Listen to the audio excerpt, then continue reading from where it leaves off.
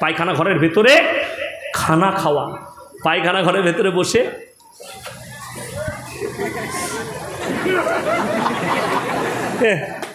আর যদি বিড়ি ফুড়ি যায় সেইও বিড়ি নিবে। বলছে ভাই একটা বিড়ি দে তো কেন?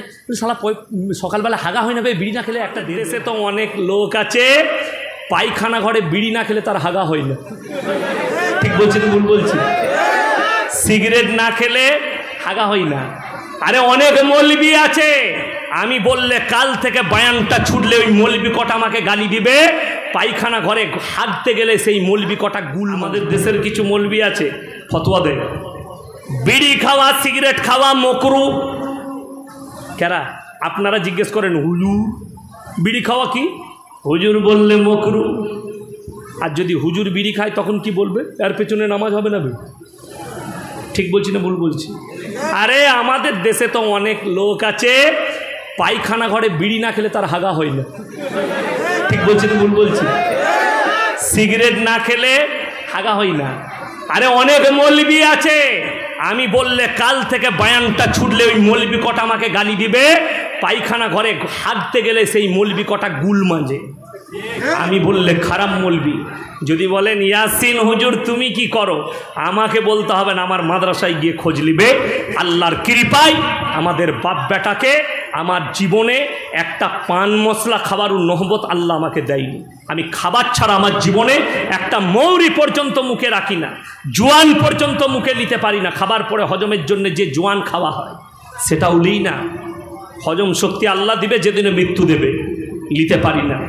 আর আমি চিন্তা করি মুখেতে খৈনি ভরছে। পায়খানা ঘরের ভেতরে বিড়ি খাচ্ছে। আচ্ছা আপনারা বলুন পায়খানা ঘরে কোনো জিনিস খাওয়া বৈধ না অবৈধ? অবৈধ। নাজাইজ এবং হারাম কাজ। পায়খানা ঘরের ভেতরে খানা খাওয়া। পায়খানা ঘরের ভেতরে বসে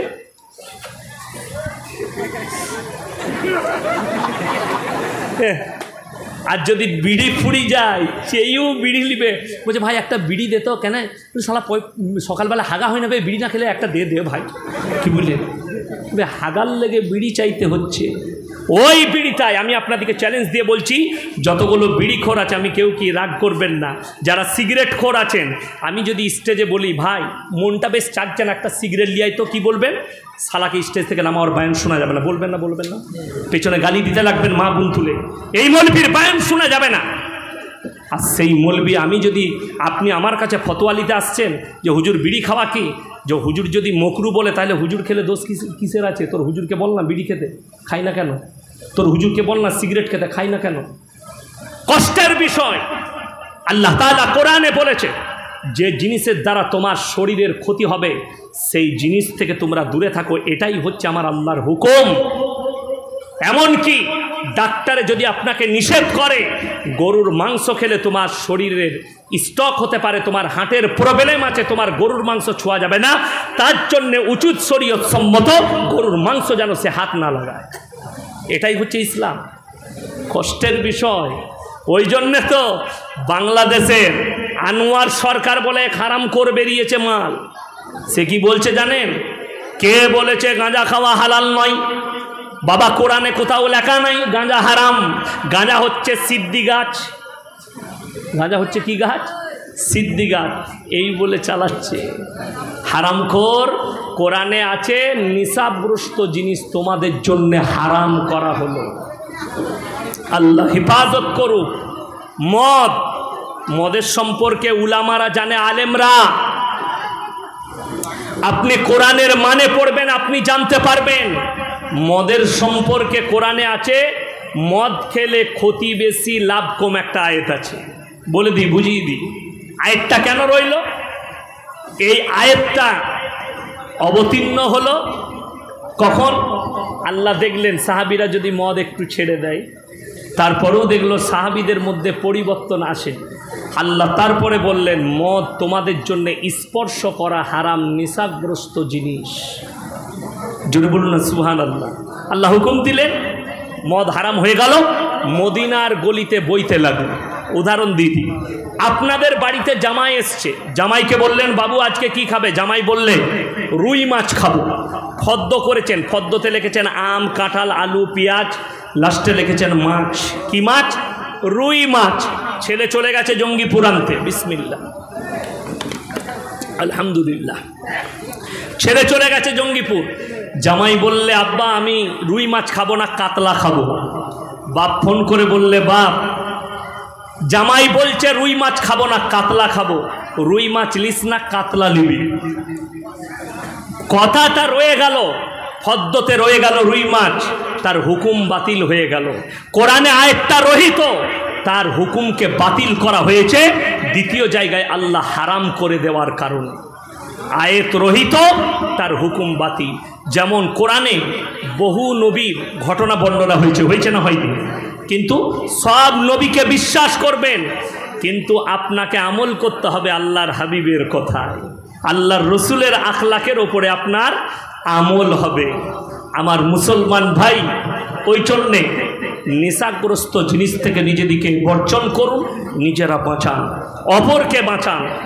পরিষ্কার পরিচ্ছন্ন রাখুন। কবরে গিয়ে যেন আপনার মুখ থেকে এটা বেরোয়, আল্লাহ হালাল বস্তু ছাড়া আমার মুখে যাই আজকে একজন আমাকে ফেড়ে ফেলিয়েছে। বলছে আচ্ছা আপনি যে জলসাই যায়, হুগলি থেকে ফোন করেছে, হুজুর, আপনি জলসাই যান জলসাই বলেছেন, হারাম খেলে দোয়া কবুল হবে না। আপনি যে যান জলসাই আপনারা যে যান, কোথাও বেঁচে খান, কার ঘরে খান? আপনি জানেন যে খাওয়াচ্ছে, তার তো হারামের পয়সা হতে পারে। আমি বললাম, শোনো পরে তুমি মুসলমান না অমুসলিম? বলে, মুসলমান। আমরা, তোমার জ্ঞান আছে না নাই? হারাম হালালের? বললে হুজুর আছে। আমরা, তুমি জেনে শুনে আমাকে হারাম খাওয়াবে কেন? কথাটা বুঝতে পারেননি? আমি আপনার গ্রামে এসছি, আমি সবাইকে চিনি না? সবাই আমাকে চিনে। কথা বলেন। সবাই আমাকে চিনেন, তাই তো? এখন আমি আপনার দিকে দেখছি, মুখ চিনা রইল। যারা কমিটি ভাই আছে, তাদের সঙ্গে মোলাকাত হলো। একজনকে আমি চিনি খুব ভালো করে। আমাদের ওখানে থাকে, অনেকজন আছে। শুনেন, মুখ চিনা আপনারা আমাকে সবাই চিনেন। তো আমি যখন আপনার বাড়িতে মেহমান আসব, আপনার উচিত কি আপনি আমাকে হালাল খাওয়াবেন না হারাম? সেটা আপনার, আপনি যদি মমিন হন, ওটা আপনার ব্যাপার না, আমার ব্যাপার। আমি এসে বলব দেখিবে মালটা খুঁজে, কোথা থেকে রানলি, কি করলি? আমাকে আর দাউদ দিবে না, বেঁধে মারবে। বেঁধে মারবে? আমার তো বলা উচিত নয়। যেমন আমার মাদ্রাসায় একজন এসে বলছে মল্লা সব ছেলেগুলোকে আজকে বিরিয়ানি খাওয়াবো একদিন। কত কি খরচা হবে? আমরা বাবা কি খুশিতে খাওয়াবে? বলে কেউ কি বলবেন না। দু লাখ টাকা পড়েছে লটারিতে, খুশি করে খাওয়ান। তো বা তো বা তো বা আমি বললাম, আমাদের দুয়ার কবুল হয়। আমাদেরকেও খাইয়ে দেবে। আমি আপনার বাড়িতে মেহমান গেলে আপনার উচিত আপনি আমাকে হালাল বস্তু খাওয়াবেন। ওই জন্য আমার জলসায় আছে। কোনো হিন্দু ব্যক্তি যদি আপনাকে দাওয়াত দেয়, তার ব্যবসা যদি হালালের হয়, তার পয়সাটার খানা খাওয়া আপনার জন্য বৈধ। আর কোনো মুসলমান যদি তাহাজ্জত গুজার হয়, আর সে যদি সুদ খায়, আপনি জানেন যে এই লোকটা সুদ ছাড়া তার কোনো কিচ্ছু নাই। তার বাড়িতে তার পয়সায় ইফতারি করা হারাম, কিন্তু ওই হিন্দু ব্যক্তির পয়সা যদি সৎ হয়, তার পয়সায় ইফতারি করা জায়েজ আছে। কেন? সে হতে পারে অমুসলিম ভাই তার পয়সাটা কিন্তু সৎ ই মুসলমান, কিন্তু পয়সাটা হারাম। কেয়ামতের আলামতের মধ্যে একটা বড় আলামত শুনে নেন আপনি বুঝতে পারবেন কখন। বড় বড় এসি বালা মাটবেল বালা মসজিদ হবে। বড় বড় মসজিদ হবে। কিন্তু আলেমদের সম্মান থাকবে না। উলামাদের সম্মান থাকবে না। মানুষ গুনাহ করবে, পাপ করবে। সমাজের বুকে যারা হারাম খাবে তারা নেতৃত্ব দেবে। আজকে আপনাকে দেখিয়ে দেবো। আমাদের দেশে, কি বুঝলেন, মদ খেয়ে আপনাদের মসজিদে কেউ ঢুকতে পাবে? কথা বলে? না, গাঁজা খেয়ে ঢুকতে পাবে? না। গাঁজা খেয়ে ঢুকতে পাবে না, মদ পান করে ঢুকতে পাবে না, কিন্তু আমাদের দেশে সুদ খেয়ে ফাঁস কাতরে নামাজ পড়তে পারে। আতর লাগিয়ে ফাঁস কাতারে চলে গেছে জুম্মার দিনে। ইমাম সাহেব মনে মনে করছে, আল্লাহ, অলিটা ফাঁস কাতারে কী ব্যাপার? এই ইমাম সাহেব মনে করলে তাহলে পরিবর্তন হয়েছে মনে হয়। যেমন আমরা মাঝে মাঝে মনে করতাম, কি বুঝলেন? আমি একটা জলসাই বলেছি, আমার আব্বাজিকে বলছিলাম, আপনি পঞ্চাশ বৎসর পশ্চিমবাংলার মাটিতে বায়ান করছেন। আমার মর্তজা সাহেব বাবাজি, তিনি ষাট বৎসর বায়ান করে জীবনটা শেষ হয়ে গেল, চলে গেলেন দুনিয়া থেকে, আল্লাহ জান্নাতি করু বলুন আমি আমার আব্বাজির বয়স আটাত্তর বৎসর হয়ে গেল। সেরকম দূরের প্রোগ্রামে যাই না আমি বললাম, আপনি কি করলেন? বলে, কেন কি করিনি? সেরেক বেদাত উচ্ছেদ করেছি। আমি বললাম, সব করেছেন। একটা জায়গায় মিসিং হয়ে গেছে। বলে, কি মিসিং? আমি বললাম, মেয়েদিকে কিন্তু মরা ঘর বন্ধ করতে পারে করতে পেরেছে? আপনাদের দেশে মরা ঘরে ভিড় মেয়েদের বেশি না ছেলেদের বেশি? মেয়েদের বেশি। কেন? আলু গোস্ত মেয়েরাই বেশি ভালোবাসে। মরার খানা তো মায়েদেরই বেশি। কান্নার যা ডিজাইন ফেরেস্তারা আলাদা কাটিংয়ের মাধ্যমে। ইসলামে যদি বলেন, দুঃখ করা কি জায়েজ নাই? হ্যাঁ হান্ড্রেড পারসেন্ট দুঃখ জায়েজ আছে, চোখের পানি পড়বে। মায়েরা, শোনো, চোখের পানি পড়বে। তোমার অন্তর কাঁদবে সন্তানের জন্যে। কিন্তু বলে বলে কাঁদতে পাবে না। অনেক মায়েরা কি বলে? আল্লাহ তু ছেলেগুলোর মুখের দিকে তাকালি না, আল্লাহ। আমি খালি চিন্তা করি। কান্নার সময়। কি বলে কাঁদে আমার চাচায় আমাকে গোস্ত খাইয়েছিল গো। সালা কবে গোস্ত খাইয়েছিল সেটাও বলছে কান্নার সময়। তাহলে তো খুঁটা দেওয়া হচ্ছে। তবে গোস্ত খাইছিল তোকে বাসে চাপিয়েছিল, তোকে চকলেট দিল, ওটাও কাঁদাতে বলতে হবে। এ তো খুঁটা দেওয়া। না! শুনেলেন মায়ের দিকে বলছি, শুনেন কি বলবেন? চোখের পানি পড়বে আল্লাহ। আমার আব্বাজি চলে গেছে, আল্লাহ জান্নাতবাসী করো, আমাকে সবরে জমিল দান করো। আমার সন্তান তোমার পেয়ারা হয়ে গেছে। আল্লাহ, আমার কষ্ট হচ্ছে, তুমি আমার সন্তানকে জান্নাতি করো, আমাকে সবরে জমিল দান করো। আল্লাহ, আমাকে সবর দাও, ধৈর্য ধারণ করার ক্ষমতা দাও। আপনাদিকে বলি, অনেক মা বাপ মনে মনে করে, অনেক স্বামী মনে করে, অনেক স্ত্রী মনে করে, আমার স্বামী মারা গেছে, আমি আর দুনিয়া করব না। আমার আর দুনিয়া করার ইচ্ছা নেই। অনেক বাবা ভাবে, আমার সন্তান মারা গেছে, আমি আর দুনিয়া করব না। না, আল্লাহর নিয়ামত আল্লাহ ফিরিয়ে নিয়েছে। ফুলের বাগান হয় না হয় না? কথা বলেন, ফুলের বাগান হয় না? ফুলের বাগানে গোলাপ ফুল ধরে না ধরে না, অনেক রকমের ফুল। আচ্ছা একটা গোলাপ ফুল চিরজীবন থাকে না, ঝরে যায়, বুড়ো হয়ে ঝরে যায়। যদি গোলাপ ফুলটা ঝরে যায়, গাছের গোড়াটা কেটে দিবেন? কথা বলেন। রেখে দিবেন কেন? আরও কুড়ি ফুটবে। বাপ যদি মরে যায়, আল্লাহকে বলে, আল্লাহ, আমাকে সাবরে জমিল দান করো। কাঁদবেন। বাপের জন্য দোয়া করবেন। বাপের জন্য দান খয়রাত করবেন। আবার এক সপ্তাহ পরে ভুলে গিয়ে আবার নতুনভাবে জীবনযাপন করবেন।